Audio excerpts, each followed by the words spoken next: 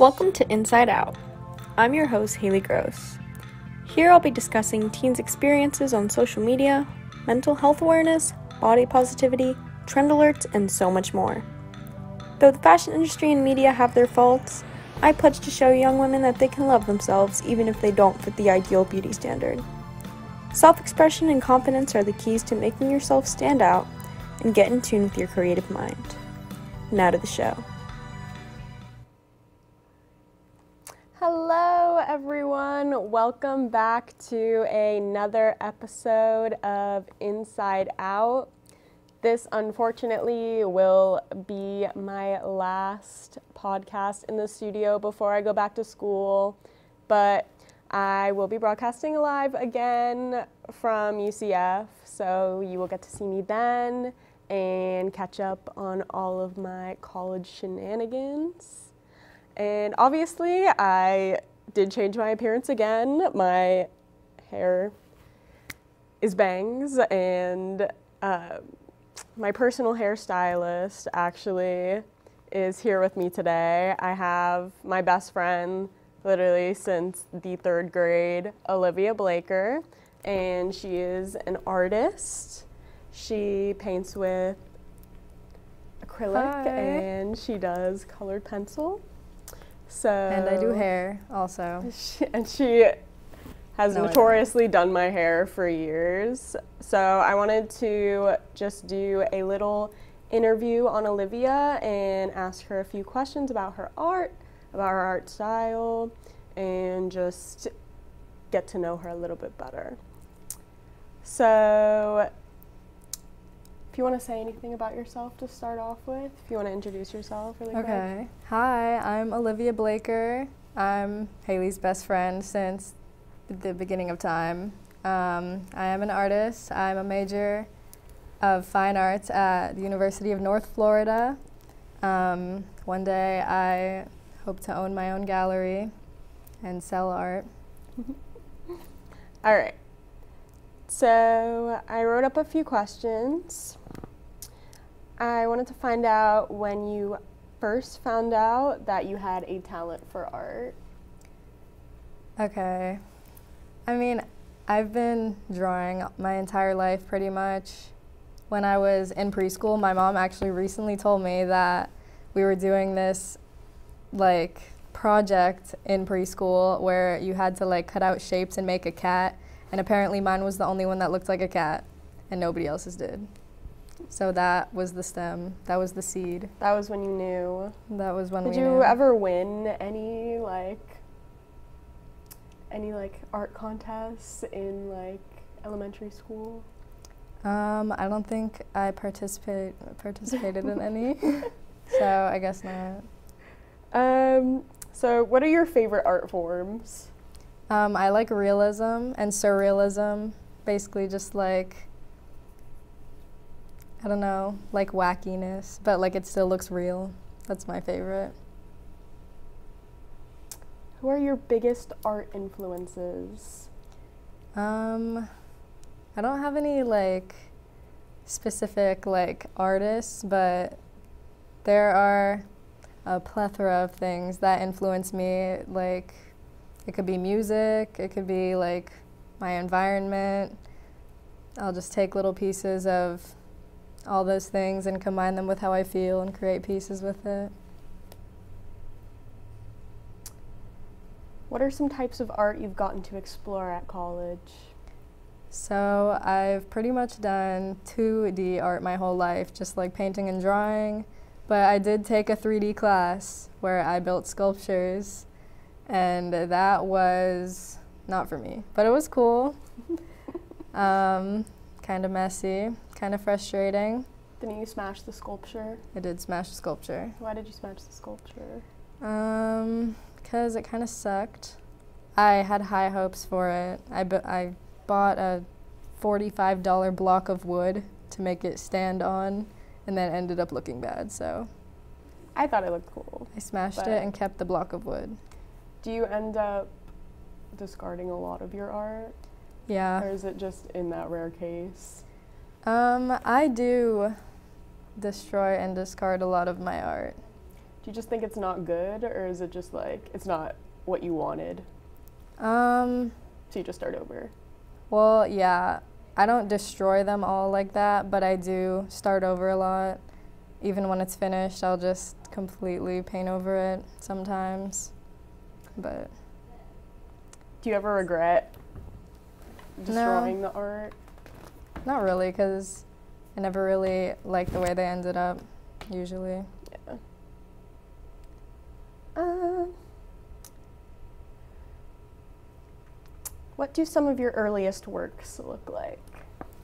Um, So, what were you making at the beginning of time? I mean, I always drew people, really. They used to look a little disproportionate, a little, little disfigured, a little odd. but, I mean, Who would you draw? um, I would always draw me for some reason. I would always have a mirror and a sketch pad. In middle school, I did that a lot. Um, do you feel like going to college has improved your art style? Um, not really my art style, because I only took one drawing class so far. So, and it was pretty much just they'd put up a still life and put you in a chair and you have to draw it. All stuff I've already done. But, I mean, I guess there's always, it, it definitely helped me, you know, but I didn't like improve like greatly. Do the professors like, are they like interactive, or is it just kind of you get assignments and you have to do? They they are interactive. It depends on the class. My 3D class, she was really hands-on. She would really like borderline do some of the projects for us if we needed help.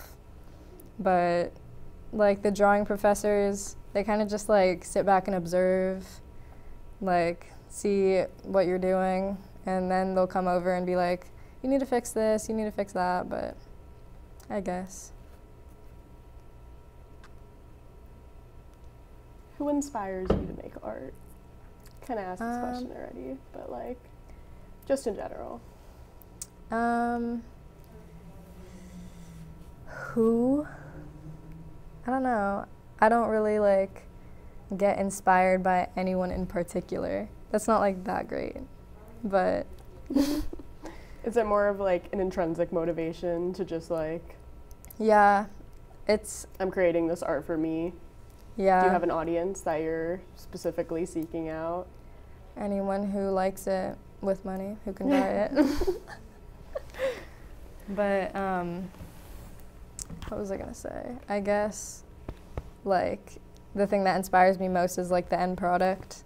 I kind of like see a visual in my head of like what I want it to look like, and then I'll, you know, the process sometimes doesn't work out. Yeah, I feel like that reigns true a lot Mhm. in like media also Mhm. because you just start with so much like if you're editing a piece together you start with so many like different parts Mhm. and then what truly matters what you're working for is the end result True.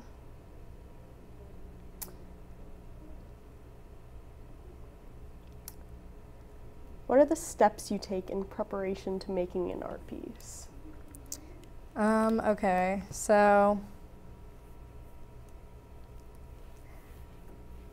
kind of there's no specific order for me personally, but sometimes um, I have to have music on. If I don't, then there will be no art piece because the music just kind of like allows the painting to paint do you itself. listen to specific music for specific types of art you're doing Um, actually, yeah. So I had this one project in my 3D class, and we had to like build the sculpture and then paint over it. And one side of it, I was listening to like kind of like calm, like bedroom pop, and the other side was Bring Me the Horizon. So they look completely different. And my teacher kind of didn't really understand it, but all my peers were like, yeah, like I, I get it. How like the music, it it just like comes through in how you paint it because Not everyone's gonna get it. not everyone's gonna get it. Unfortunately, it was the teacher, but It's okay. which one is that? It was I made it out of cardboard. I don't think you saw it. Oh, I don't know. I trashed it. You Bye. trashed it. Yes. Please. I understand discarding a lot of your work just because something just isn't working out or it Mhm. just will never look the way you want it to look Yeah. no matter what you do. That happens more than you think. Yeah.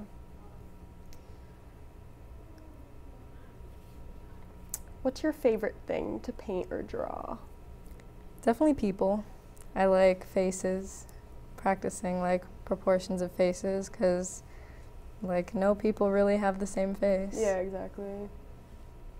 It's my favorite thing to draw. Um,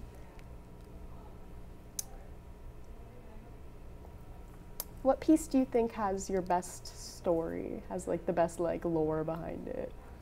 Okay. Um, uh, I didn't send it to you, but there's this piece that is actually unfinished, and it's a portrait of me, and I have a space helmet on, and I'm in space, and I'm like looking at a planet, but you can't see the planet, so I'm just like, like staring at it, because it'd be so cool to like see a planet in real life, like in your face. So, it's just like something that I want to do, but like I'll never be able to. you want to look at a planet. I want to be right in. I want to be in space. like, just look at oh. all this. Look at all the stuff in space. You know. I would love to look at all this stuff in space. We always look at the stars. Very big star people. That is the thing we always do. and the moon. Uh, how long does it take you to complete your pieces usually? Um, it really fluctuates depending on if I have a deadline or not. Like, if I have like a friend's birthday and I want to like paint them a picture, a day to a week. Mm-hmm. If I don't, the the unfinished space portrait of me, January 26th will be a year that I've been working on it. you ever gonna finish it? Yes. it's at college. My plan is to finish it at college. Speaking of college, what's your goals after college? Um, Looking very far into the future, but like, like right after college or like, like, what do you want to work as? um, so. Or where do you see yourself? So as painters, you can like rent out a space in this like in these like warehouses and you can have your own space with all you, like and it's like your station and you're like surrounded by artists and you can paint in that environment and like you can stay there as long as you want like throughout the day. And I want to rent out one of those spaces so bad and do that for a very long time because it's also like a good attraction for like aspiring artists or people who are like looking to Mhm. buy work. Like people will walk in look around. Like i feel like that could be a good way to kind of like i don't know gain you know people who Like client, clients i guess yeah yeah People that want to buy your art. i want to do that and i want to hopefully own a gallery one day Do you want to stay here? um Do you have like a specific location that you want to live in? I don't think I'm gonna stay here. I don't like Florida that much, No, me either. but I don't know where I want to go yet. You have time to decide. Don't even worry about it. I'm not worried. We'll be fine. All right. I wanted to put up some of Olivia's pieces to see if she would like to explain some of them. I would love to. Thank you so much. So, Alana can just put up whichever one and we'll start there. oh my gosh. Okay, so this was actually um, a piece that I did for my AP art class my senior year of high school. And um, my concentration was like different like mental illnesses and kind of how they affect like people's bodies and how they affect like how they like function like uh, I don't I can't explain it. anyway Does it have a name? this one does not have a name unfortunately. Nameless. But um, the kind of like explanation that my artist statement for this one was how her um, surroundings are kind of hectic, but she is kind of like like a more calm, you know, like grayscale coloring, and how like she kind of like knows how to like deal with herself, even though her surroundings are kind of hectic. That's pretty much that one. Oh my gosh, this is actually my favorite one ever. This was a birthday like this a lot present. too. This is a birthday present for one of my good friends at college. There's not really a story behind it. He's just hot. but yeah, I did this one in seven hours actually. Oh my gosh, this one was um, this was my final for my drawing class. We had to do a self portrait and um, we also had to do uh, like a landscape, but I don't really like landscapes. But I'm pretty proud of this piece. Um, I did it in like 12 hours, like nonstop working. Is it pencil? It's colored pencil and charcoal. Awesome. This was another AP art piece.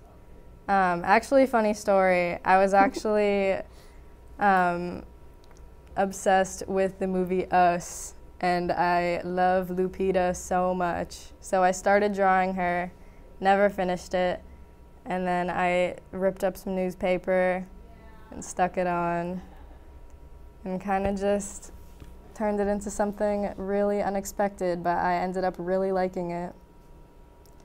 Really, no story to that one either. That's one of my favorite movies too. I always say like when I'm talking to people like in the film realm that I want to make movies like the movie Us, like the movie Get Out. Uh, those Like- are my favorite. I love Jordan Peele, like Yeah. more than anyone. but yeah, that's that one. Um, this was another AP art piece. These are all pretty old because I don't have any like recent stuff that's finished. But this piece was um, supposed to kind of exhibit like attachment issues that people could have, like dependency on one another if they're like going through something. People depend to like, people tend to like latch onto like their friends for help. And that's kind of what I was like kind of going through at this time because of quarantine. But that's really all that one. That's really the story behind that one. When you draw people, do you like model their faces after like an actual person's face or do you like just make it up? Just like make Um, up their face? Usually I find models like off like Pinterest or just like Google. I'll like Google like faces of women or men face by but um yeah I if I make them up in my head they end up looking like an elf like they never look like a real human All right, I think that was it for your photos. I still have a few more questions, and I think we have a little bit more time.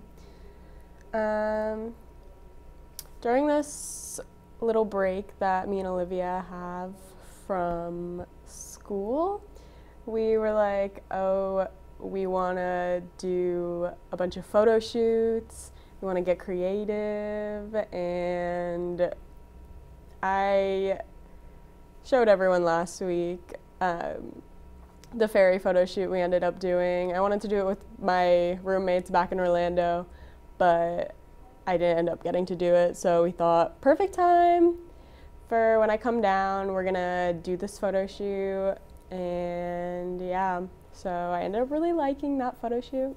You Oh guys saw the picture last. That was so much fun. We had so much fun. I dressed her up in my clothes, and we just went in like the grass, and I got backdrop from Goodwill. And that was a lot of fun. Hopefully, when we're reunited, we can do some more fun, creative stuff. yes. We have so many more ideas. We did have so many more ideas, but unfortunately, we have to depart again. Um, Boo. spring break will be coming around soon, so we will reunite.